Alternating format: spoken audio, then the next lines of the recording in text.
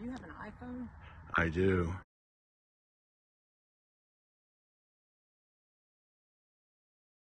Welcome to Salon Talks at the Trippe Gallery. With me today is Jill Basham, who is an award winning gallery artist.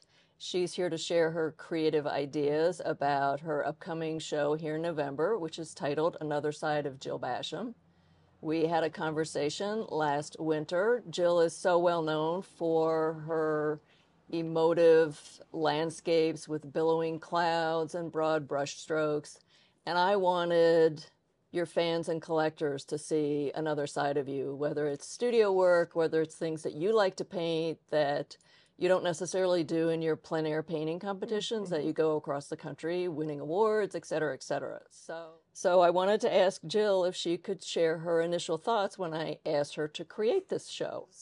I was a little bit surprised uh, that uh, a gallery director owner would venture into um, offering an artist the opportunity, honestly, to um, explore beyond what they sell.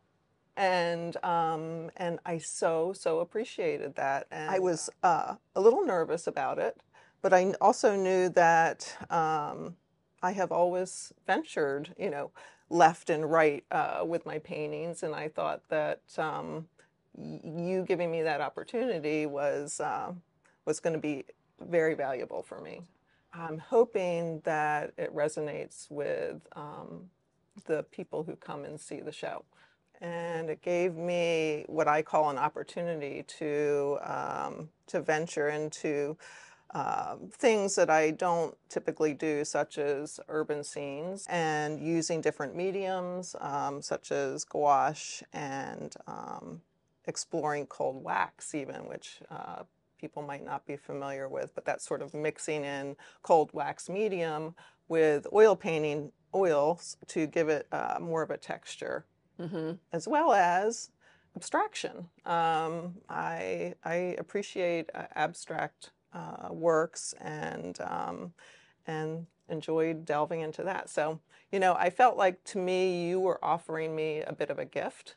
Mm-hmm. Um, and so thank you for that. I appreciate it. So do no, you find that when you go into your studio as opposed to going and painting on plein air that that's more of a challenge for you because it's maybe a scene that's not necessarily right in front of you, but it's in your head. It's something that you've seen or it's a photograph you're working yeah. from, somewhere right. you've traveled. Right. So that's got to be a little bit more of a challenge in some ways, yes, I do find it more challenging, but in other ways, I think more freeing. Uh, so, yes, it, it, I can bring an idea into the studio, and oftentimes I want to work larger. Um, and and sometimes it doesn't work. I mean, sometimes I have to um, regroup and then and then have another another go at it, or or give it some time to sit off the easel and come back to it, and then I have this oh, okay, this is this is how I, I can do this.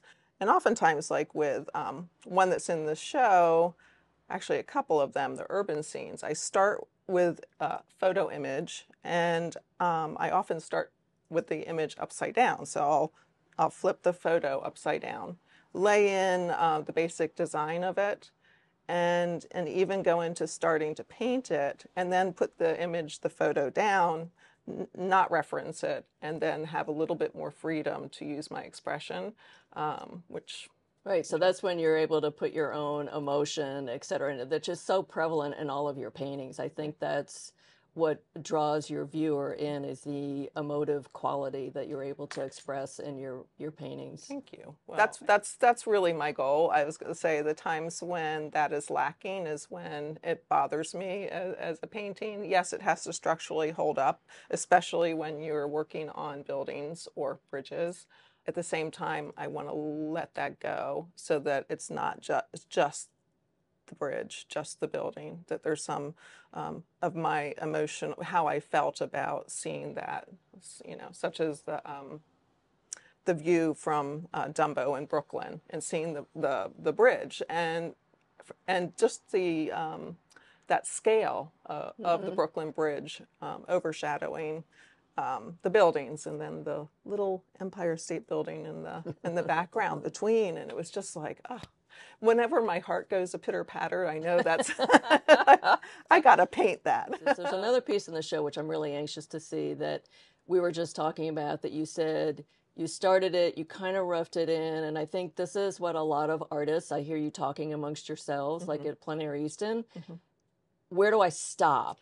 Right. That's the big question is where do we stop? I think, and for us, it's oftentimes we take it too far. We almost need someone else uh, to come in and say, stop. Yeah. Or, you know, right. but the other thing is um, there's a risk to stopping uh, because uh, have I done enough? It's always that question. Well, well, have I done enough? But if, but sometimes if you let that sort of marinate again in the studio, and you come back and it still has that I've done enough. I can I can leave it alone with that particular painting. Yeah, I, I just thought it's it's not going to get better than where it is right mm. now, in my in my opinion. So I, I left it, and that was that was pretty abstract. So tell us a little bit about this painting here um, you've done, which is called Green Velvet. Okay, ever since I was a kid, since um, I can, my first flight on an airplane, I was absolutely taken by um, how things looked, how the land looked from above. And I think I would look around at adults flying and they seem so